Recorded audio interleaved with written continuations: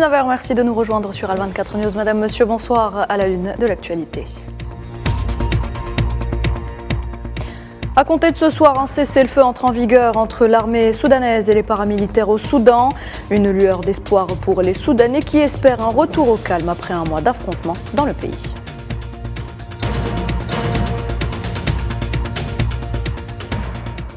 Large victoire du parti mauritanien au pouvoir El Insaf aux élections législatives régionales et municipales du 13 mai dernier.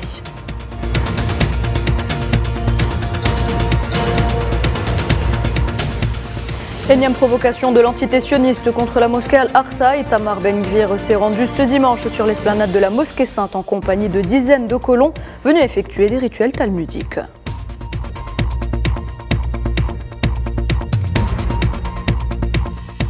Volodymyr Zelensky invité surprise du G7 alors que le président ukrainien dément la prise de Bakhmut par les forces russes Wagner publie des images de ses combattants hissant des drapeaux russes dans la ville.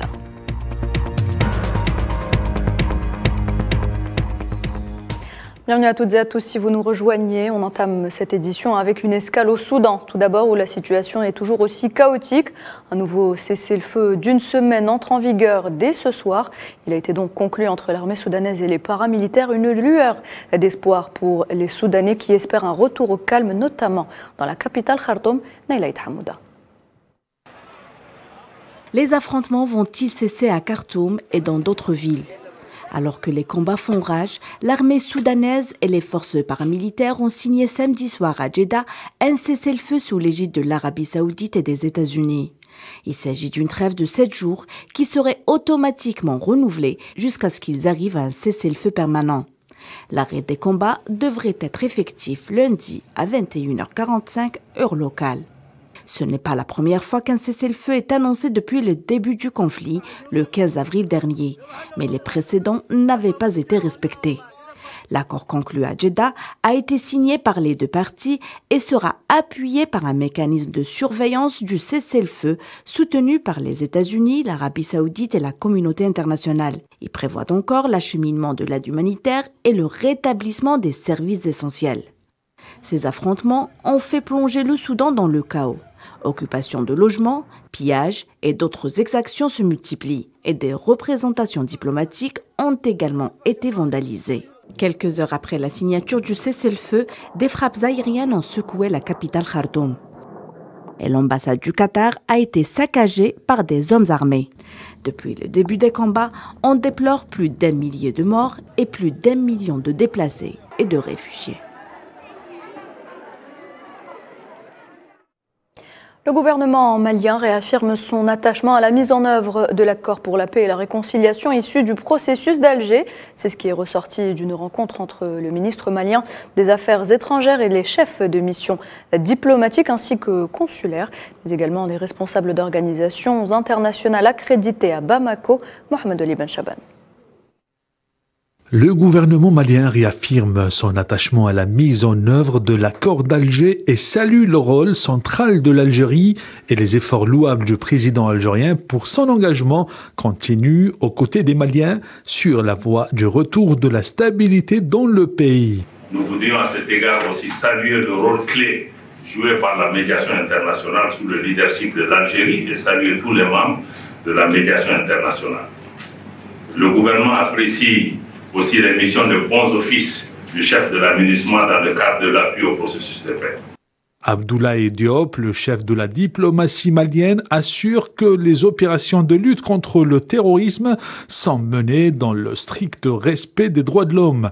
En contrepartie, Bamako s'interroge sur l'identité des groupes terroristes. Parce que quand on parle de terrorisme, je cherche toujours à savoir de qui on parle. Qui sont-ils? D'où viennent-ils? Qui les finance? Qui les soutient, qui les motive. Donc, sous cette réserve, je vais quand même utiliser, parce que je n'ai pas d'autres termes, mieux indiqués. Dans le cadre de partenariat, le Mali s'attache à pratiquer une politique de coopération internationale ouverte dans le respect le plus absolu de la souveraineté du Mali. Je tiens encore à rappeler que c'est vraiment notre souci de travailler avec tous nos voisins, avec tout le monde, mais dans le respect mutuel et dans le cadre d'une relation où le Mali gagne, le partenaire gagne. Pour instaurer la stabilité et la sécurité au Mali, Bamako assure que toutes les mesures relatives au processus politique sont conçues et réalisées dans une démarche consensuelle et inclusive. La question de la pénurie de pain dans certaines régions de la Tunisie au centre de l'entretien tenu hier samedi au palais de Carthage entre le président Kais Saïd et la ministre du Commerce et du Développement des Exportations. Le chef de l'État a précisé que cette situation était due à la volonté de certaines parties de pourrir la situation sociale dans le pays en créant des crises. Kais Saïd qui a ajouté qu'il était inconcevable que le pain manque dans certaines régions alors qu'il est disponible ailleurs.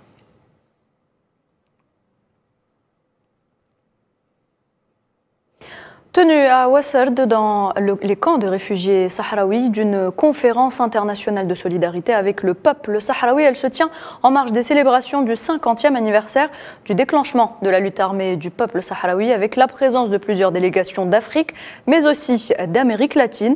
Un front de trois groupes parlementaires d'amitié avec le peuple sahraoui a d'ailleurs été mis en place à cette occasion. Ce front est composé du groupe parlementaire d'amitié Algérie-Sahara occidental, du groupe parlementaire d'amitié Cuba-Sahara occidental et enfin du groupe parlementaire d'amitié Venezuela-Sahara occidental. Il faut d'abord commencer par les mouvements de libération nationaux et certaines expériences, notamment en Afrique. Nous avons, il y a le peuple sahraoui, il y a l'Algérie qui a vécu une lutte de libération des plus extraordinaires, et il y a les peuples africains qui eux aussi avec leur mouvement de libération, nous avons parmi nous le Zimbabwe, nous avons le Kenya, nous avons l'Afrique du Sud. La bienvenue et surtout saluer cet événement qui consiste dans l'établissement aujourd'hui d'une euh, association, si je peux dire, d'amitié entre le Parlement, le Conseil national sahraoui et les parlements en Algérie, à Cuba et au Venezuela. Et le président du comité Algérie République arabe sahraoui démocratique, le député algérien Miloud Tessouh, a tenu à saluer le courage et le combat du peuple sahraoui qui subit les affres du colonialisme marocain. Je salue ces positions de solidarité très honorables, fortes et courageuses de nombreux activistes et associations, même des ONG en Europe et partout dans le monde, qui ont dénoncé la situation précaire dans laquelle vit le peuple sahraoui, tout en dénonçant également les politiques inhumaines et des crimes odieux que subit le peuple sahraoui dans les zones occupées. On reste dans la région pour évoquer les élections en Mauritanie. Le parti au pouvoir dans le pays, El Ensaf, a remporté une large victoire aux élections législatives, régionales et municipales du 13 mai dernier, selon des résultats officiels provisoires rendus publics ce dimanche par la commission électorale à Nouakchott. Ces élections visaient à élire 176 députés, 13 conseils régionaux et 238 conseils municipaux à un an de l'élection présidentielle. Au moins 13 civils ont été tués dans un camp de déplacés dans, le, dans la nuit de mercredi à jeudi dans l'est de la République démocratique du Congo, une région où persistent des affrontements sporadiques entre des groupes armés et la rébellion du M23.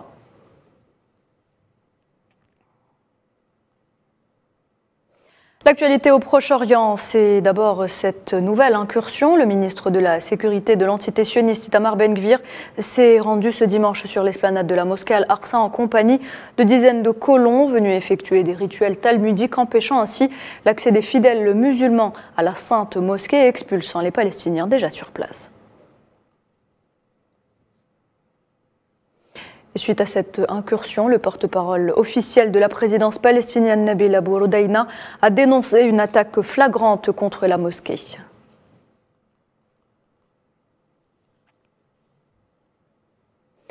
Dans l'actualité également, la situation à Bakhmut, épicentre des combats en Ukraine, est devenue depuis euh, source de confusion. Invité au sommet du G7 au Japon, le président ukrainien Volodymyr Zelensky a affirmé ce dimanche qu'il ne restait rien de la ville, laissant ainsi entendre que les Russes s'en étaient emparés totalement. Des propos que Kiev s'est peu après empressé de tirer au clair, affirmant ne pas avoir perdu cette ville stratégique.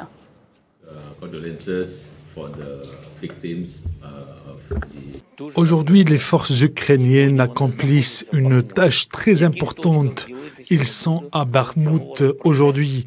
Où exactement, je ne vais pas vous le dire, mais cela signifie que Bakhmut n'a pas été conquis par la Fédération de Russie aujourd'hui. Il ne peut y avoir autre interprétation. Autre son de cloche côté russe, le groupe paramilitaire Wagner annonce la prise totale de la ville de Bakhmut, devenue donc le théâtre de plusieurs combats. Je vous propose de regarder ces images.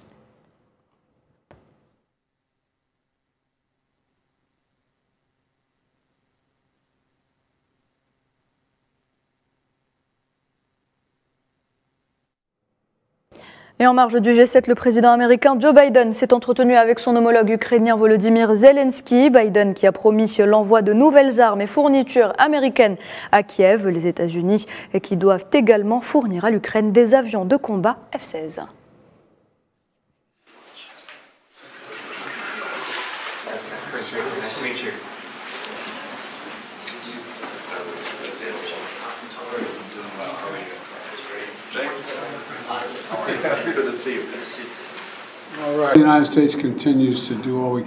Nous continuons à faire ce que nous pouvons pour renforcer la capacité de l'Ukraine à se défendre, notamment en lançant de nouveaux efforts conjoints avec nos partenaires pour former des pilotes ukrainiens sur avions de chasse de quatrième génération comme le F-16. Aujourd'hui, j'annonce la prochaine tranche de systèmes de sécurité américains en Ukraine un ensemble qui comprend plus de munitions d'artillerie et de véhicules blindés pour renforcer les capacités de l'Ukraine sur le champ de bataille.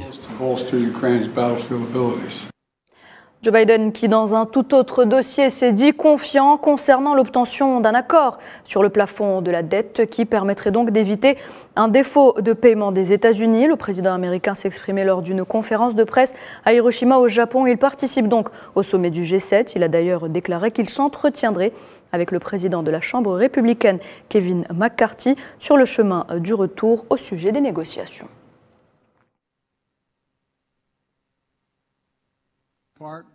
J'ai fait ma part et présenté une proposition visant à réduire les dépenses de plus d'un billion de dollars, en plus des près de 3 billions de dollars de réduction du déficit que j'avais précédemment proposé en combinant des réductions de dépenses et de nouveaux revenus. Il est maintenant temps pour il y ait des positions extrêmes parce qu'une grande partie de ce qu'ils ont déjà proposé est tout simplement et franchement inacceptable. En Grèce, le parti de droite du Premier ministre sortant est arrivé en tête des élections euh, ce dimanche. Selon des sondages de sortie des urnes, son parti La Nouvelle République recueillerait entre 36 et 40% des voix devant le parti de gauche Syriza, qui lui recueillerait entre 25 et 29% s'il est confirmé. Ce résultat pourrait augurer des difficultés à former un gouvernement stable.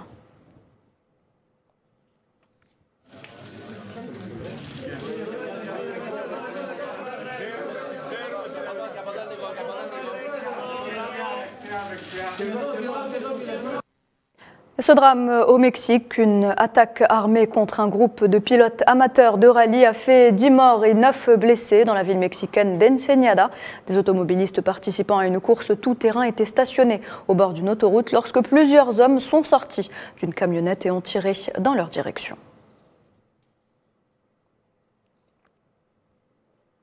Autre drame en Équateur cette fois-ci, au moins six personnes sont mortes et autant ont été blessées après que des hommes armés ont ouvert le feu dans un restaurant de la ville touristique de Montagneta. Les autorités du pays ont annoncé qu'une enquête était en cours suite à cette fusillade. Et neuf personnes ont trouvé la mort également au Salvador lors de bousculades de supporters qui tentaient d'entrer dans le stade de Cuscatlán, dans la capitale San Salvador, pour assister à un match de football de première division. Au moins deux autres personnes sont dans un état critique. Mire, aficionados, desvanecidos, desmayados. Los cuerpos de socorro no dan abasto. Sport football justement, vainqueur 1 but à 0 face aux Blues de Chelsea cet après-midi en match de la 36e journée de Première Ligue. Manchester City est désormais champion d'Angleterre pour la neuvième fois de son histoire, sept fois champion. Depuis l'avènement de la Première Ligue, six titres sous l'ère émirati, le club mancunien s'apprête à disputer une finale de Ligue des Champions et est en train de marquer le football anglais de son empreinte. Retour ce soir sur le club des Sky Blues avec Salah Faisal. Fondé en 1894, Manchester City a remporté son premier titre majeur, la FA Cup, en 1904. Les Citizens ont dû beaucoup attendre afin de voir leur club régner sur l'Angleterre et devenir l'un des meilleurs clubs du royaume et peut-être du monde. Tout cela a débuté en 2008. Un investissement émirati changera le cours de l'histoire du club à jamais. Des stars et des icônes mondiales ont porté le maillot bleu ciel Tevez, Agüero, Compagnie, Joe Hart, l'Ivoirien Yaya Touré, Silva ou encore Samir Nasri. La politique des nouveaux propriétaires du club a fini par payer. En 2012, Man City remporte pour la première fois de son histoire la Première Ligue et commence à écrire une nouvelle page du football anglais.